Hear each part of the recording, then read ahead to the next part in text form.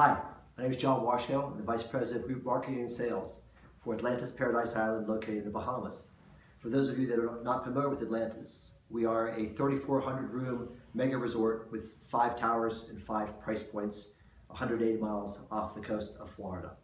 Um, the, the, sales landscape has changed and the way that consumers are absorbing information and the way that we get in front of our customers has changed significantly, especially with the advent of social media. Um, Gone are the days where you looked at a production report and gauged success or failure by uh, the, the definite line and just tentatives and new builds in, in the pro, in, into the pipeline. Obviously, those are core fundamentals of the success of a sales uh, individual within any organization. But on top of that, you have to look at new ways to be getting your brand and your messaging and your content in front of the next, the next generation of consumers.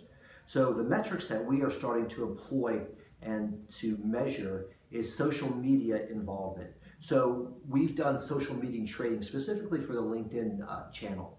And what we now are able to do is to track how often our sales our sales managers are in LinkedIn posting content, commenting, liking, involved within that channel.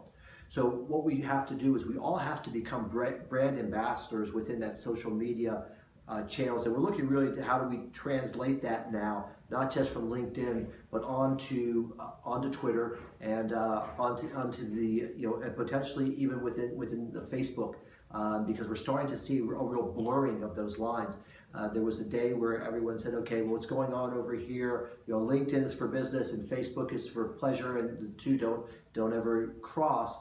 But now what we're starting to see is that there are a lot of individuals that that are seeing Facebook as a vehicle to be, you know, to, to be friends and, and, and, and get a deeper relationship with the meeting planners, with the customers they're interacting. So we're still kind of on the on the the just sort of understanding how that how Facebook can can play a bigger role in the sales dynamic. But certainly what the metric that has changed for us and we've, we've seen successes with is measuring uh, LinkedIn activity.